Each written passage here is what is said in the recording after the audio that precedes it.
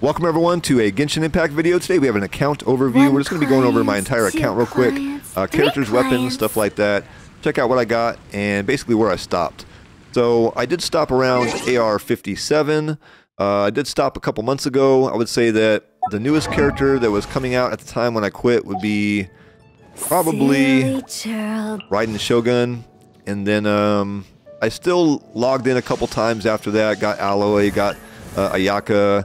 So basically, around Inazuma time is when I quit. So if we look at all the characters, I, you count Venti, who's like one hit away from 90. Uh, I have 18 level 90s here that I was able to get up before stopping. Um, some of my favorite characters in the game: Hu Tao, Eula, Zhongli, um, Liv Rosaria. There's so many good characters in this game. A blade Um, I would say that they're not all built up As a ju- properly. Like we can check out the stats here on the right, but the weapons, like I'd swap weapons out to characters. Like he probably doesn't have the right weapon on him at the moment. Um, his artifacts might be messed up. Who knows? So going off the stats on the right is probably a bad idea, considering it might be mismatched. There's probably a couple characters that have the right stuff. Like let's check out Zhongli for example. Let's see what he has. Uh, weapon-wise, uh, this is not his best weapon. Uh, he would probably be best with this one here. Um, so like, you know, stuff like that. If I swap him to that weapon, then it takes it off of Hu Tao, who's now, you know, a weaker version of Hu Tao, basically. So don't go by the stats off to the right. As you see, I just swapped the weapons. They're not going to be accurate. Uh, but this is who I have. So check out the stats. Some of them will be right, some won't. Friendship levels here, kind of I important. created Um, definitely leveled up a lot of these characters. Got the friendship levels up. Uh, you can see which ones I like the most, but not even even that because, as you can see, like I leveled up a lot of the characters. Once we got the friendship level 10, I was swapping them out and putting in different characters. So you have a lot to 9, 10, around that range, and it probably is more so uh, got to do with how long I had the character, more so than how much I actually like them. So some of the characters I got first definitely leveled up. Um, some of these other ones taking a little bit longer, but you can see I got a lot of friendships to 10 here. I wonder. And we're working on some of these these newer characters here towards the bottom. Uh, one character I didn't get until like the very end of my account was Diluc here. So I never even had a chance to use him. That's kind of crazy. Uh, but very cool characters, very cool game. Let's go over to the weapons. Let's go check out the inventory. So got quite a few level 90s and legendaries. We have Elegy for the End, Skyward Harp, Lost Prayer to the Sacred Winds, Primordial Jade Wing Spear, Staff of Homa, Song of Broken Pipes, or psh, pipes, pines, uh, Wolf's Gravestone, Skyward Pride, Primordial Jade Cutter, Skyward Blade, Aquila Favonia, and working on Skyward Atlas and another copy of Skyward Harp. Uh, definitely had some of these epics as well, Stringless, Wine and Song, Sacrificial Fragments was a really amazing one for uh, Sucrose here. You have the Widsith, Deathmatch, which uh, was pretty close. Man, I almost had a five star in that one, or refinement level five. I uh, barely missed the battle pass by just not playing. the Whiteblind, um, Rainslasher, Sacrificial Sword. Got quite a few weapons. Definitely a great assortment here. And uh, there was nothing in the game that I basically wasn't able to do.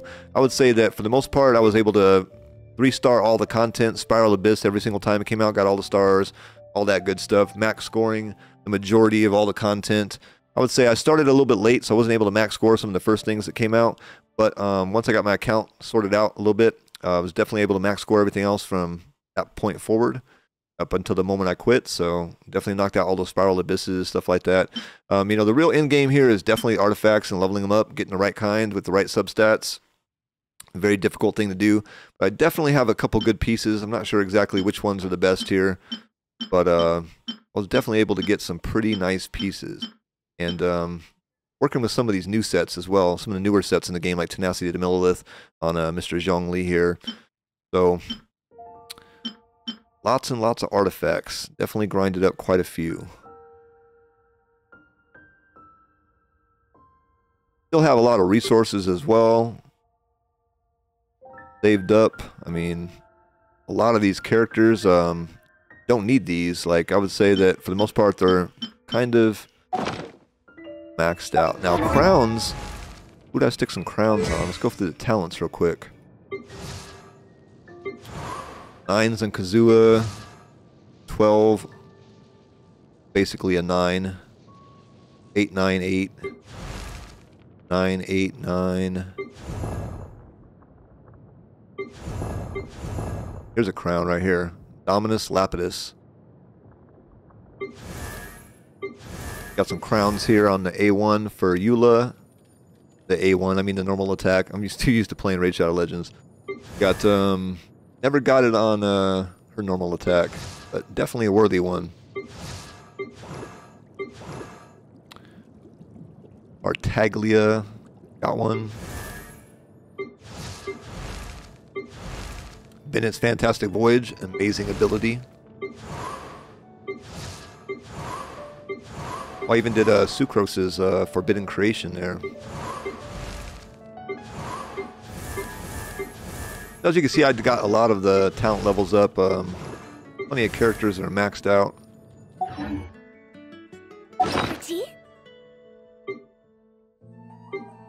Go to the teapot real fast. Go check that out.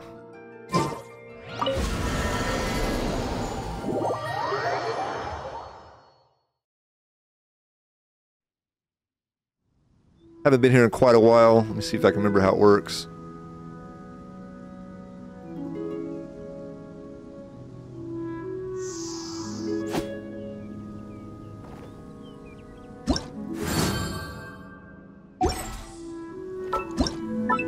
There we go. That was kind of weird. I hit that button a bunch of times and didn't like do anything. All right, so uh, here's my basically landscape at the moment. Uh, built this and then I really haven't kind of been back since. This I just use for storage as to get the um, load up. And same thing over here, just kind of dropped a bunch of stuff down just to get the load. Inside though for a second, because I did build up the inside just a tiny bit.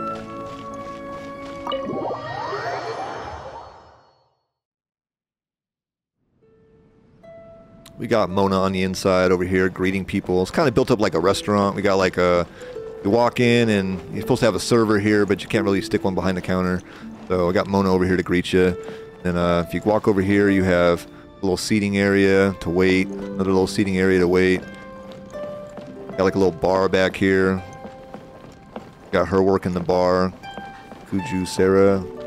Bunch of animals running around because, you know, it's crazy like that like to have dogs and cats just running around the restaurant begging for food. Yeah, I mean, I got a couple of these rooms built up. I have like a kitchen or something in here. This is a new room that was added after I quit playing, so I do not have that room built. Over here, though, I do have these bottom floors done up a little bit. Got this built up like a bedroom. Lisa's hanging out in here. I don't know why Lisa's in the bedroom. Just likes to be in the bedroom, I guess. And we got a little kitchen area right here. We got nobody in the kitchen though, as you know.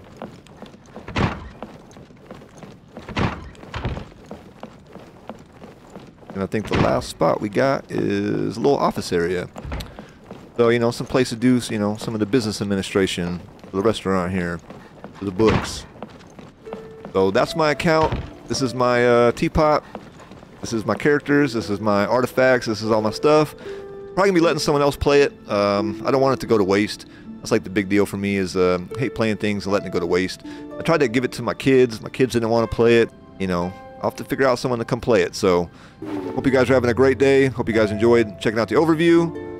See you guys next video. Peace.